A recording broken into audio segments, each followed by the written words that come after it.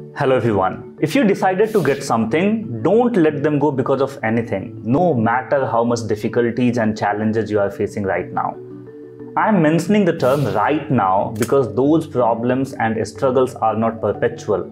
So be rigid, be brave, you will become successful. In this video, we will talk about problem solving strategies in detail.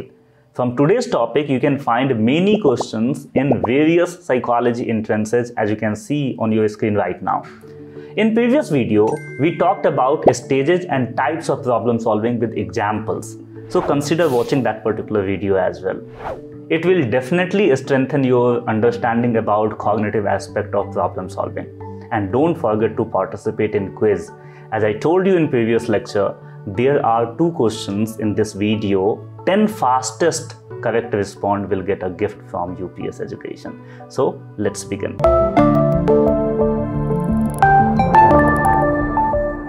A problem solving strategy is like a roadmap. Each strategy has different steps and there are two main strategies to solve any problems that we are facing in our day-to-day -day life. Number one, algorithmic and number two, heuristics.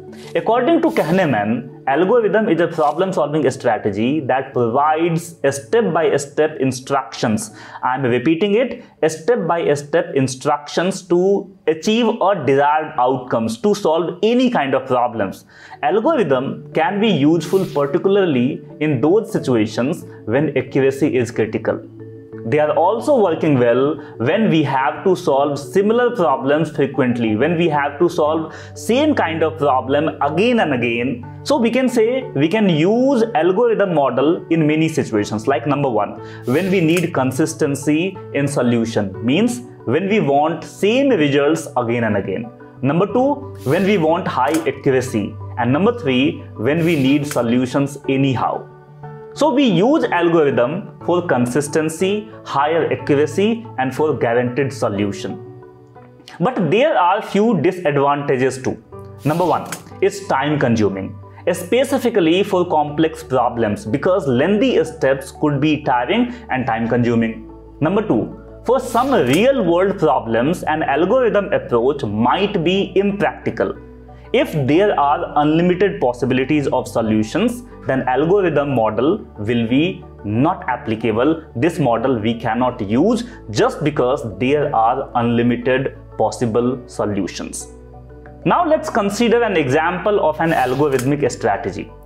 Imagine that you have forgotten the code to unlock your airbag you need to open that particular bag because there are important documents and you don't want to damage that particular bag as well. In this particular scenario, you can systematically attempt all possible combinations starting from 0, 0, 0, then 0, 0, 1, then 0, 0, 2, then 0, 0, 3 to 9, 9, 9. This method is a kind of guarantee that you will eventually open the bag. Because there are three combinations to open the bag, each combination having 0 to 9. With 10 possible digits for each section, you effectively have 10 multiply 10 multiply 10, which equals to 1000 combinations. If you systematically try all possible combinations starting from 000 and ending at 999, you can be absolutely confident that you will find the correct code anyhow because the correct code must fall within the range from 000 to 999. So there is no chance of not finding the solution when you explore all possibilities within this ranges systematically. We can take another example. When someone consistently follows the same recipe with highly detailed instructions using the exact same ingredient and serving that particular dish in same environment, they will consistently achieve the same result. That's why I told you through algorithmic strategy, we can get consistent results repeatedly and we can also get guarantee of that particular solution. I hope you understood algorithmic strategy. Now let's talk about heuristic. Heuristic are rules of thumb that people use to simplify problems and is often based on memories and experiences. Heuristic save time and effort but it does not giving guarantee of solution. Heuristic are more common that we use in our day-to-day -day situations. Like we use past experiences to decide how to reach point A to point B and which one would be fastest. This solution is heuristic because you are not deciding on the basis of all possible combinations, on the basis of all the points systematically. You just use past experiences and decide quickly. That's why I told you heuristic is less time consuming. In 1989, Brett Canyon said that we are using different types of heuristic according to situations, but we use specifically in certain specific situations. Like when person having too much information, then they are using heuristic model. When there are limited time, if individual doesn't have time, then they are using heuristic model. When the solution is not so important, then individual using heuristic model. When information to make decision is not available, that means individual doesn't have any piece of information to make decision, then they are using uh, heuristic model. And number fifth, they said appropriate solution is in mind on the basis of experience. That simply means when any individual having appropriate solution right in their mind, they have solution. They are confident that okay this will be the right solution of this particular problem in those particular situation they use individual use heuristic model. So there are many types of heuristic but we use specific types that we will discuss about those types that we are using frequently and that will be important for our psychology entrances as well. Number one availability heuristic number two representativeness heuristic Number three, anchoring and adjustment heuristic. And number fourth, recognition heuristic. We will discuss about all these heuristics one by one, what it mean. We will also talk about one one example related to all these. So let's begin with availability heuristic. Availability heuristic is a mental shortcut or cognitive bias that people often use when making judgment or decisions. It based on available information or examples that individual having that's why we are saying it typically based on available information or examples that come into the mind very easily when evaluating a specific topic event or situation. So when any individual involved in evaluating any topic event or situation to solve that particular problem if there are any then individual using those kind of solution that coming into mind very easily we call them this is availability heuristic. This type of heuristic based on easy to recall. This type of heuristic based on easy to recall. Media influences personal experiences. So all these things we are using at the time of finding solution right what we are using easy to recall, media influences, and personal experiences. The availability heuristic can sometimes lead to error in judgment and decision making because it is not reflecting the actual statistical probability of events. We can take one example to understand it easily. Suppose people thinking much that they will face plane crash in near future or they overestimate that plane journey is dangerous and these thoughts that they are having just because they saw a news about plane crash. But the probability to face plane crash is extremely low in comparison to car accidents. So as I told you, this type of heuristic is based on easy to recall. If we are recalling something easily, then we use them. We are using that particular kind of information to think and to solve the problem. Now we are going to talk about second type of heuristic that is representative heuristic or representativeness heuristic. This type of heuristic is based on likelihood of an event or the category. In representative heuristic, we assessing the similarity of an event or object rather than uh, considering the actual statistical probability of that particular event. For example, we can take one example. Imagine you meet a person, Ahana.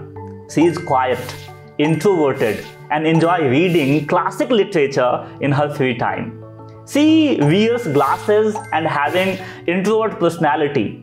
When we ask, Ahana is more likely to be a librarian or farmer.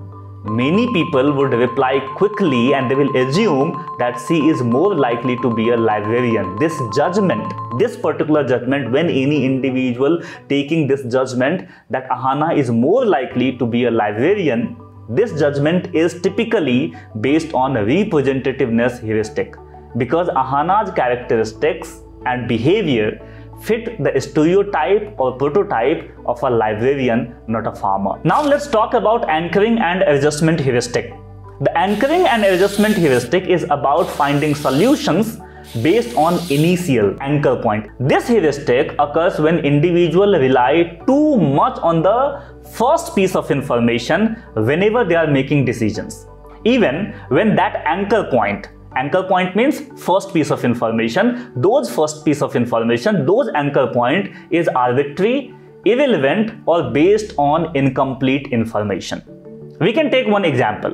When you try to guess the price of a used car and someone tells you it's worth 2 lakh, that number can stick in your mind and you might think about car price around 2 lakh. No matter in reality price of that particular car is much higher or lesser.